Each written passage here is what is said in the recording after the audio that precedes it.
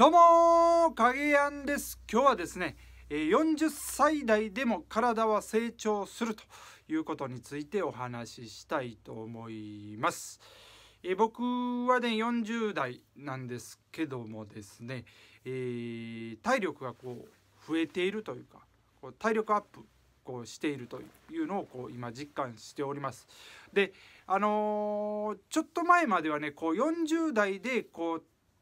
体力とかその体っていうのはこう衰えていくもんやと僕はこ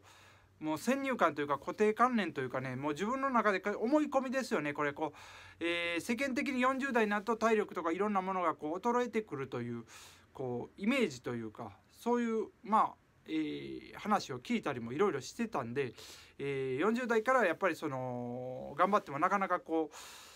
成長せえへんかなっていうのをこうイメージで思っててですねほんでちょっと信用しているお医者様にですね、えー、お聞きしたんですやっぱり40代からこう体力っていうのはこう増えていかないというかやっぱ衰えていくこう鍛えても衰えていくもんなんですかねっていうことをお聞きしたらですねあの全然そんなことはないと。50代60まあ60代ぐらいになったらちょっと衰えてくることもあるかもしれないけれども、えー、40代全然まだ若いんであの全然成長するし、えー、自信を持ってこう活動していってくださいということをお伝えいただいた。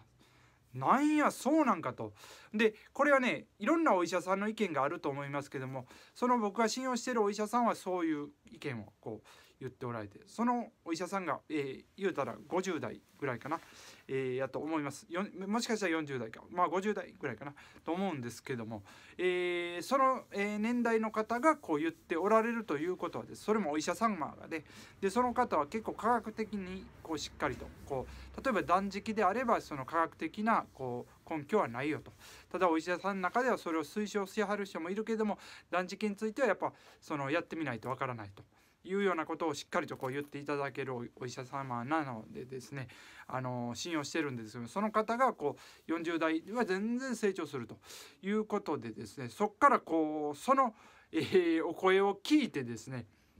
あの僕は「よしいいぞ」と「おしさどんどん鍛えてやろう」という気持ちになってですねこういろいろとこう今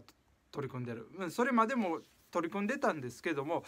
やっぱこう衰えていくものがあるのかなと思いながらもやっぱそれそれをそう阻止するためにやろうと思ってたんですけどもそうじゃないとこうどんどん成長するんやっていうのが分かってからの自分のこう気持ちはですねこうすっきりした状態であの、えー、やっていると。ほんでこうジョギングしたりこう空手の稽古とかこうどんどんどんどんこう積み重ねてこうずっとやってるんですけども確かに体力は伸びてます。あので空手の稽古なんかで言うとですね、えー、言うたらその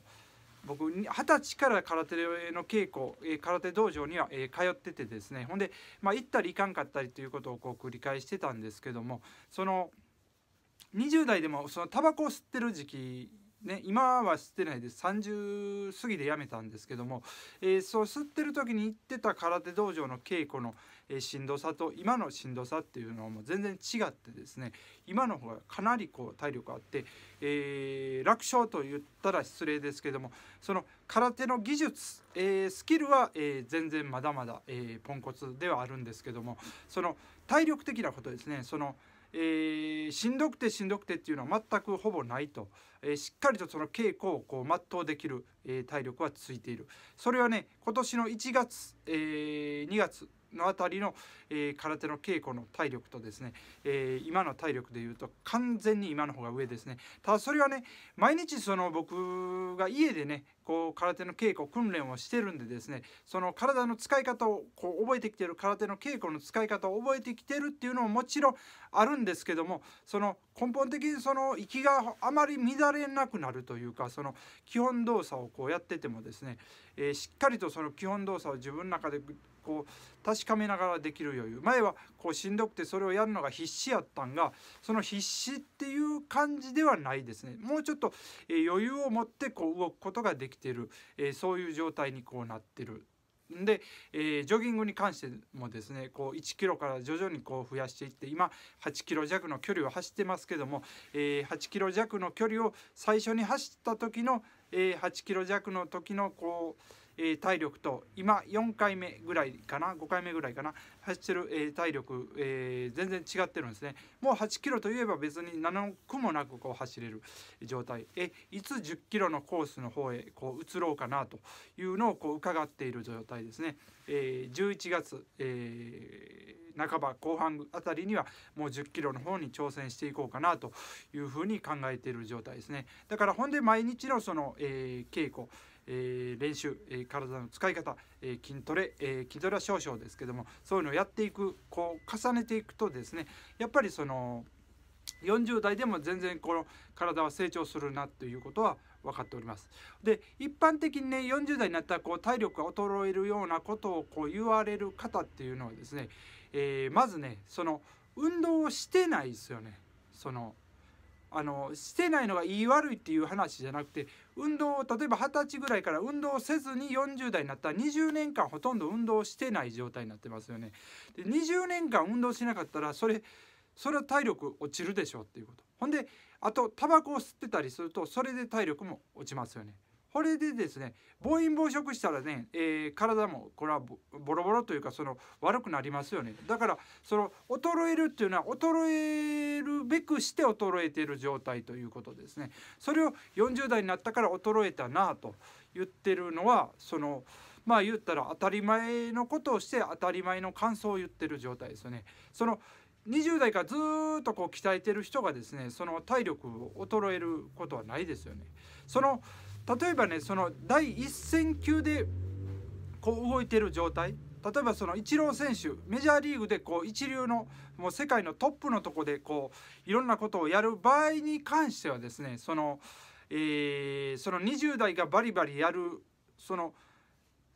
で技術とかいろんなことが上がっていくのと40代のそのいろんなことが上がっていくっていうのはちょっと変わってくるんかなと思います。その辺はもうトップアスリートのね、えー、世界っていうのは僕は分からないですけどもやっぱりそこで戦うとなるとちょっと40代っていうのはやっぱりちょっと、えー、厳しくなってくるんかもしれないんですけど一般的に僕のようにですね、えー、一般的にこう過ごしてる上ではですねしっかり鍛えていけばその体力が伸びていくんでその問題ないとで僕の中でですね、えー、空手が今47でしょで、えー、あと8年後が55ですよねだ8年後ぐらいの空手の動きっていうのがこう、えー、ピークに近い状態というかかなりのこう空手の、えー、状態にこう持っていこうかなと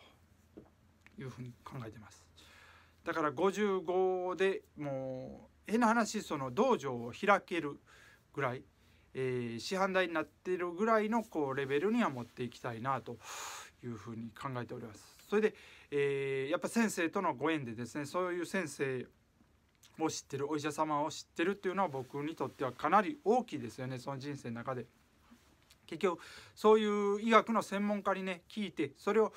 こうどういうんですかねこうしっかりとこう科学的にというか科学的にだけじゃないでしょうけどもいろんな意見を取り入れながらですね僕にこうアドバイスをいただけるという。ということがすごくねこうあの僕にとってプラスになってて、うん、でやっぱりその言ってはることがまあ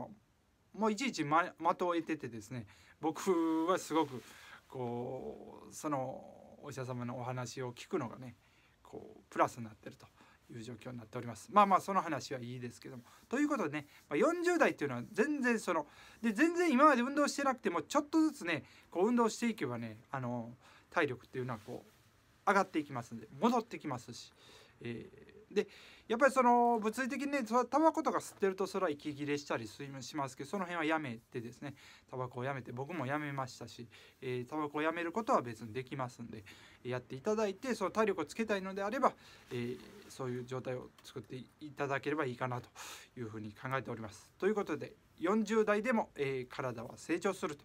いうことについてお話しさせていただきました。では今日もよっしゃでいきましょう。どうもありがとうございます。